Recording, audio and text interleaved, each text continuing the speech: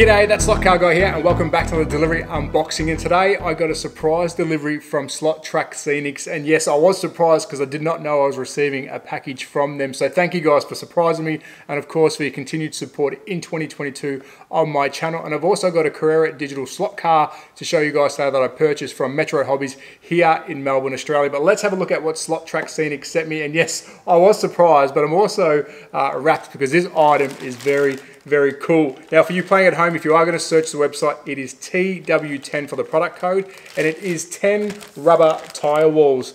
How cool is that? Now of course, I run an Instagram page. This is going to help my photographs because I do like taking photographs of scenery. And of course, I can put these around my track. And yes, TW10 for the product code on their website. And I'll quickly show the website here on the back. And there it is, 10 of these puppies. Cannot wait but they've also sent me two alternative ways to affix these to your track. Now let's talk plastic track first, and I'll go with the product code CFP, CFP10, and there's 10 clips for plastic track. I'll quickly show that off.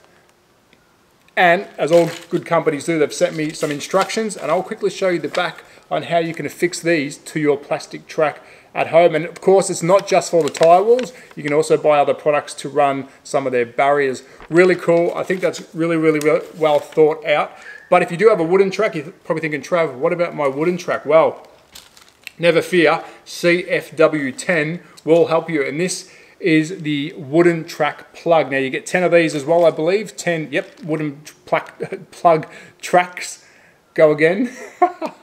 so what you do with these is you drill a five millimeter hole, six mil deep, and of course these plug in and you can place the item on top. So really, really cool. But what is this slot car I purchased from Metro Hobbies? But before we get into that, thank you Slot Track Scenics. That is really, really cool. And I did get surprised because I did not know I was receiving anything.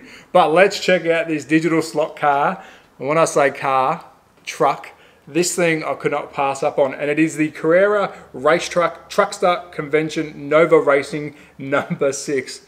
Take a look at this beast. Now that thing is wicked. And of course, I'm going to do a full unboxing, a teardown, and a hot lap. But I think this thing is absolutely incredible. There is another version, which I'll put a picture up, I probably will get the second version because I do like trucks, but I'm really, really happy that Carrera have made some new trucks. And yes, this is digital, so I can run it on my Digitrack and my analog track. So there you have it, some tire walls from Slot Track Scenic. Thank you very much, guys, with instructions and of course, some plugs that I can use on my track, whether it's plastic or wood. So I do appreciate that. So please support uh, Slot Track Scenics. And of course, if you are here in Melbourne, Australia, please support Metro Hobbies because they are a local hobby shop. But as always, at that slot car guy on YouTube and Instagram, I will be doing a review of these very soon. You will see these in photographs very, very soon. But always be safe, take care, support your local. Ciao. So I thought I'd quickly show you how I'm going to utilize these clips and these tire walls on my Carrera track and of course how I'm going to take my photos and to show you how versatile these tires are. And as you can see they sit perfectly normal on their own just on a bit of track and of course this is Herral RS wooden track. And here are the clips, and I'll quickly show you what the clips look like because if you are running Scalextric, which I'm not, uh, you do have different cutouts here uh, for different style of tracks, I believe. Now, of course, I'm only testing it on Carrera, so I will show you now how I use these on my Carrera track. But of course, I said these are versatile. The tires can stand on their own with no problems. You can just slip these in and use these as stands if you want to. As you can see, they're pretty sturdy. But if you do want to put these on your track, I have set up some Carrera track, which I'll show you now and this is how I will be running it on my track. Now take a look at these clips. I've simply clipped these into my bit of Carrera track and I'll quickly show you exactly how I've done that. Now as you can see, these will move freely until you position them where you want them. And I've simply used the front cutout, which is this one here. I first attach that to the track, which literally it sits underneath the track like so.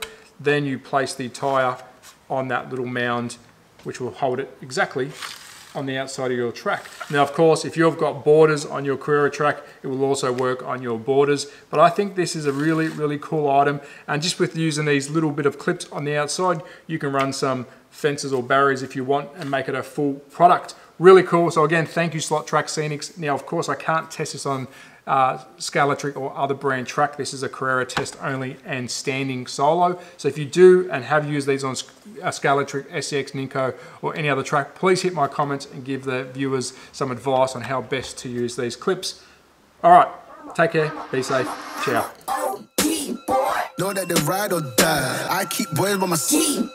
Know that they ride or die. I keep boys by my side. Day we hustle, but the night